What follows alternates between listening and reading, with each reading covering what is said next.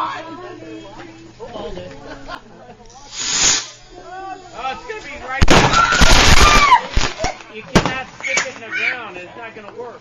Who did that? You gotta put it in the shoe.